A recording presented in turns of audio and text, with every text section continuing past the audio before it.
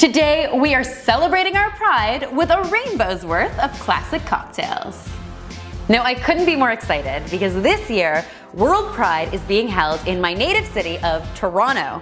So I am so excited to share with you six tasty cocktails in celebration of this amazing event. First up is our Sea Breeze. This pretty red cocktail could not be more simple. We are literally adding one part of vodka to one part grapefruit juice and then topping it with cranberry juice. So refreshing on a hot summer day.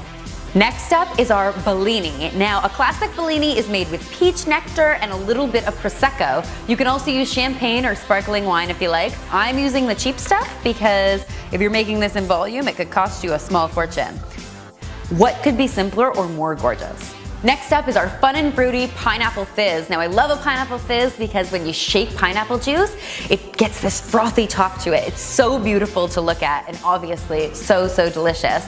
Now this is a rum-based drink. You can use regular white rum, but I like to use coconut rum and it adds a little bit of that pina colada flair to it. It's as simple as mixing your rum and your pineapple juice, add a little bit of sparkling soda water, give it a good shake.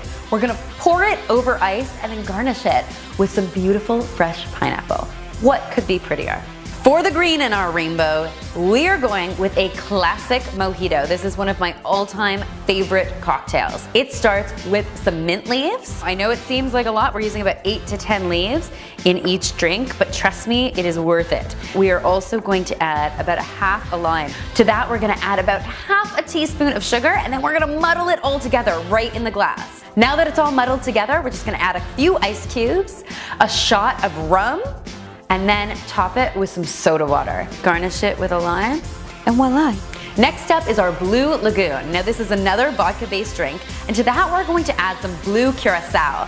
Now this is sort of a citrusy liqueur that is often dyed blue, so it creates this beautiful blue coloring. To that, we are going to add some fresh, sweet, and tart lemonade.